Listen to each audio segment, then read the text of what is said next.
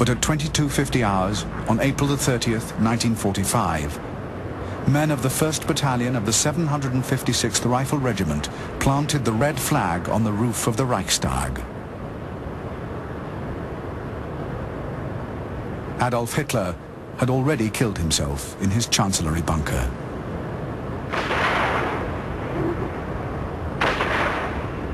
The death of Hitler was not the end of the Battle of Berlin. From Hitler's bunker, Joseph Goebbels and General Krebs, the German Chief of Staff, won a brief local truce to discuss the terms of surrender and deluded themselves that they had a right to be treated as a government. Meanwhile, bitter fighting continued to rage as pockets of defenders fought to the end, or battle groups tried to break out through Russian lines. On the afternoon of May the 1st, Russian patience ran out.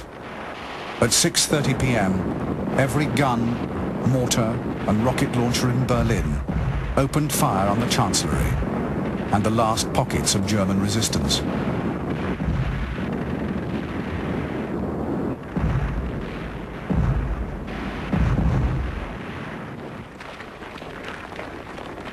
The following morning at 6 a.m., General Weidling commander of the Berlin defenders, surrendered to the Russians. He was allowed to dictate a signal to be sent to all German forces in the city, ordering them to lay down their arms. At 3 p.m. on May the 2nd, the Russian guns fell silent.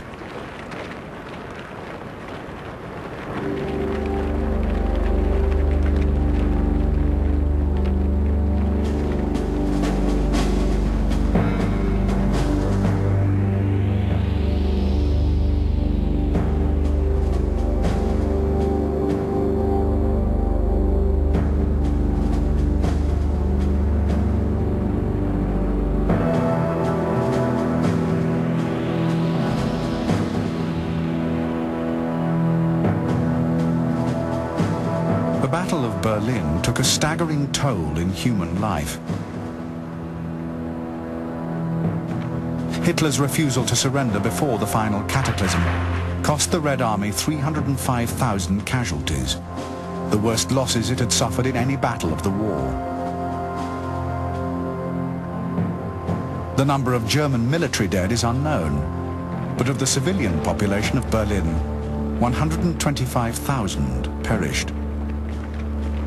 Many more had been wounded, raped, or driven insane by the hell around them.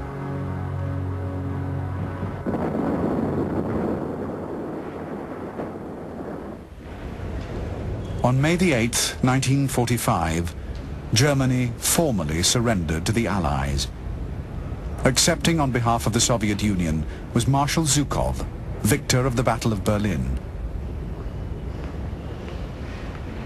With his conquest of the German capital, Zhukov was delivering to Stalin not just a final and historic victory over Nazi Germany, but the key to a future Soviet empire in Central and Eastern Europe.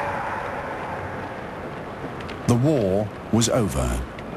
Hitler was dead, and the Third Reich had been utterly destroyed. However, in the Battle of Berlin, the seeds of a new conflict had already been sown. A conflict between East and West that would divide Europe and the world for two generations.